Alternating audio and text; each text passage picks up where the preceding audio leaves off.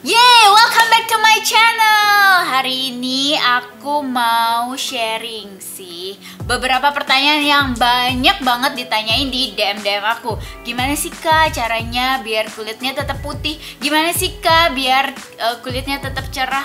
Kak pakai produk apa sih? Kak ini itu ini ngurusin anak kok bisa sih tetap ngerawat kulit? Nah, jawabannya gampang. Tapi sebelumnya, klik dulu tombol belnya. Jangan lupa subscribe dan komen.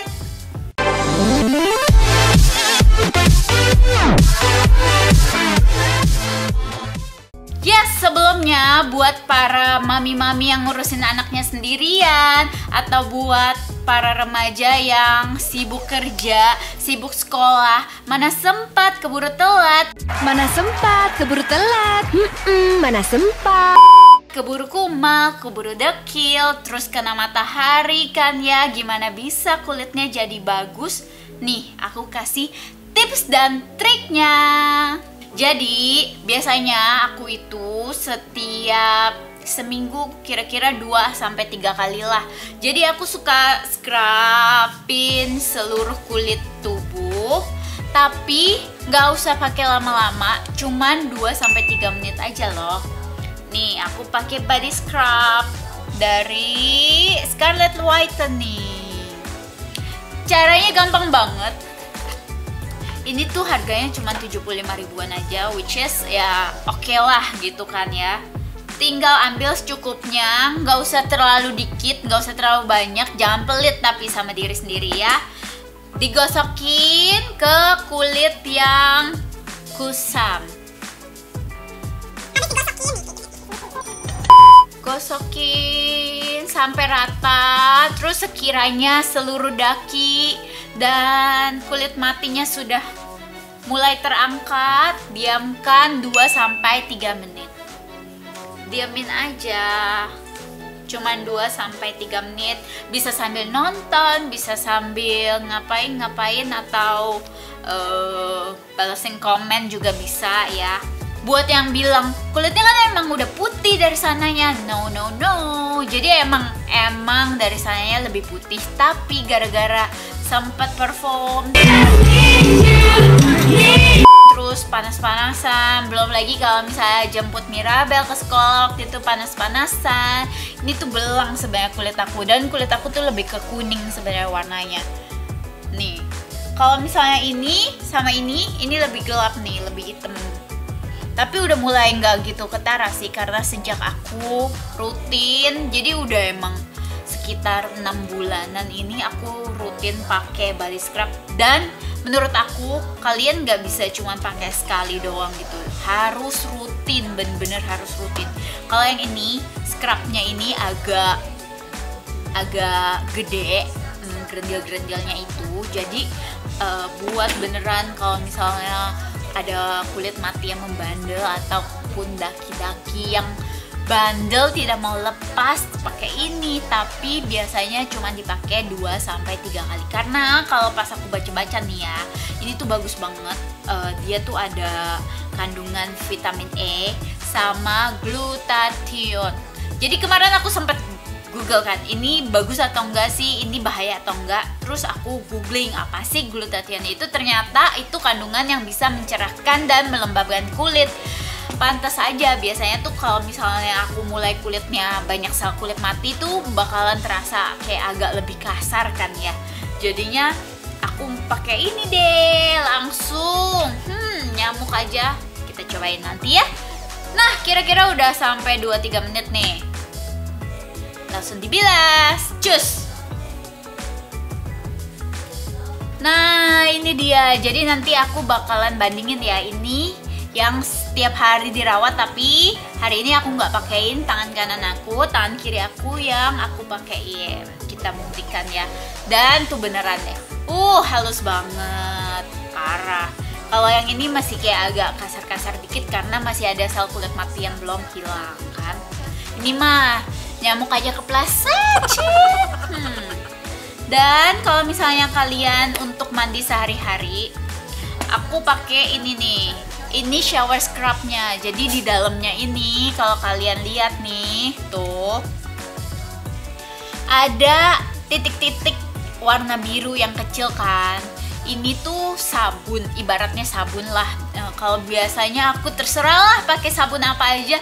Nah sejak kemarin aku coba si Scarlett ini aku kayak kayaknya harus pakai sabun ini deh. Jadi kalau misalnya which is lagi males scrub pun terus uh, apalagi sekarang di rumah kan mandinya jarang kan nah langsung pakai setiap mandi pakai si shower scrub ini oh iya buat yang nanya uh, kemarin tuh aku dapat uh, pertanyaan juga. Ini kan rasanya ini pomegranate. Terus uh, banyak variannya juga sih shower craftnya ini. Ada yang mango dan ada yang uh, cucumber juga. Itu bedanya apa sih? Itu cuman beda wanginya doang. Tapi fungsinya sama, tetap uh, mencerahkan dan melembabkan kulit. Nah, kalau mau beneran putih ingat harus rutin nggak bisa cuma sekali doang tapi emang si Scarlett ini kelebihannya kalau misalnya kamu mau yang instan ataupun kamu yang suka panas-panasan ini bakalan kelihatan banget dalam sekali pakai kalau kalian rutin kalian bisa bikin itu beneran cerah. Cerah kulitnya. Karena sel kulit mati yang udah rusak dan daki-daki yang masih menempel uh, yang kalau misalnya kita pakai sabun biasa itu sebenarnya nggak bisa lepas gitu. Nah pakai ini langsung lepas semua. Di atas ya ini pakai agak banyak kan nggak apa-apa. Dan kalian kalau misalnya di kamar mandi kamu mau pakai puff juga bisa uh, karena itu lebih ngefek banget dan itu kalian langsung bisa bikin banyak busa kan ya gitu. Sama tinggal diginiin aja. Ini tuh kayak wangi wanginya enak banget soft. Dan kalau yang ini uh, scrubnya itu kecil jadi nggak terlalu kasar di kulit gitu. Jadi kalian aman untuk pakai ini setiap hari. Sama seperti body scrubnya ini tinggal digosokin. Setelah kalian gosok ke seluruh tubuh kalian diamkan 2 sampai 3 menit. Let's go kita cuci habis ini Yuhu, selesai dicuci kita lap dulu nah tuh kan mulai kelihatan lebih shiny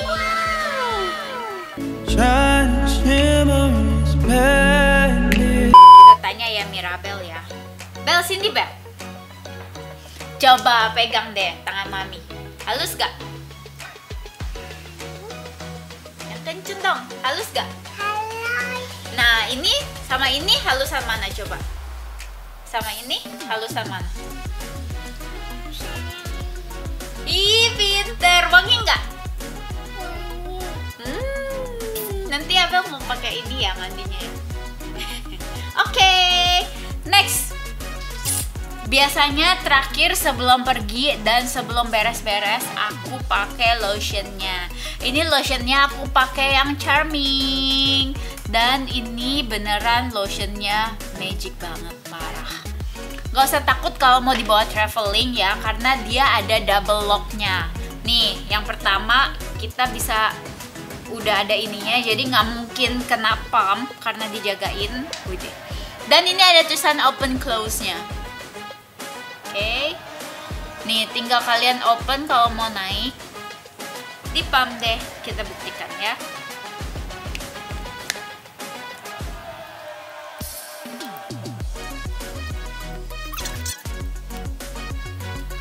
tapi semuanya sih tergantung kulit masing-masing ya. Aku nggak berani garanti kayak hari ini kamu pakai kamu bakalan putih atau apa. Itu tergantung kulit masing-masing. Dan berapa lama sih? Kalau kemarin aku pakai dalam dua minggu itu udah kelihatan beda banget. Langsung kayak pada nanyain wah lebih fresh ya uh, kulitnya tangannya gitu kan. Pakai apa? Makanya pada tanyain kan pakai apa ini udah selesai. Kita lotionnya kita bandingkan ya. Wow. Kelihatan kan bedanya? Yang ini lebih putih. That's it. Jadi emang ini tuh ngefek banget kalau misalnya kalian mau habis keluar panas-panasan dan mau instan ini bisa. Tapi dalam jangka panjang kalau dipakai emang beneran mencerahkan gitu kalau menurut aku dan ini uh, sepengalaman aku pakai gitu. Dan satu lagi tipsnya jangan pakainya asal-asalan karena ini harus rutin, harus rajin. Jadi emang kalau mandi jangan males mandi juga, dakinya nanti nyengket, tau gak? Hmm. Pakai ini kalau mandi sabun dan jangan lupa pakai lotionnya. Plus 2 sampai 3 kali dalam seminggu kalian bisa body scrub.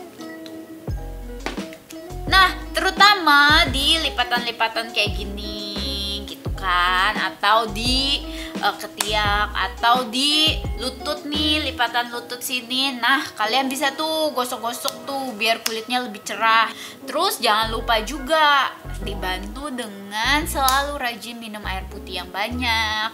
Terus jangan sering-sering ke matahari gitu. Kalau misalnya matahari yang baik kan memang kalian bisa jemur di pagi hari jam 9 jam 10 biasanya. Kalau misalnya kalian jemurnya di luar rumah itu cukup 15 menit aja. Tapi kalau misalnya lewat jendela nih kalau misalnya di sini jendela kan bisa masuk. Matahari itu boleh 30 menit gitu dan kalau misalnya habis aktivitas jangan lupa mandi bersih-bersih juga dan makan makanan yang sehat sayur-sayuran dan buah-buahan jangan lupa ingat oke okay? Itu dia tips-tips aku buat merawat tubuh supaya tetap cerah, tetap lembab dan awet muda pastinya. Nah, buat yang mau tanya atau mau aku bikin video apa-apa lagi untuk tips selanjutnya, kalian bisa langsung DM aku di Instagram aku Margaret underscore Angelina atau komen di YouTube aku yang ini. Oke, okay? see you next time. Bye.